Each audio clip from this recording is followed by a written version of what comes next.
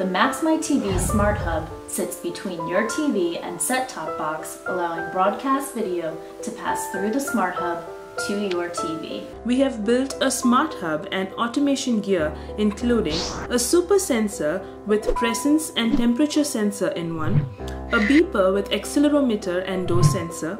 a smart power outlet and an IP camera.